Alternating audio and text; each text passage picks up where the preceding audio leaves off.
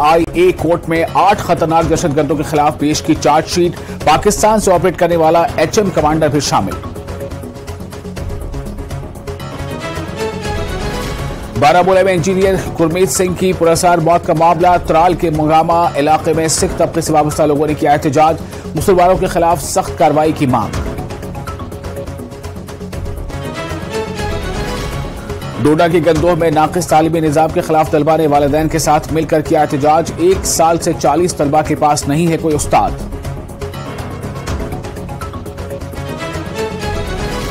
Jammu Kashmir civil selection board का फैसला। Merit track company दो साल के लिए ब्लैक लिस्ट कंपनी ने सब इंस्पेक्टर का लिया था इम्तहान। इम्तहान में सामने आया था एक बड़ा घोटाला।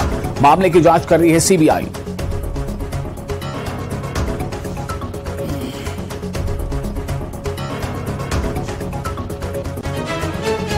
Presented by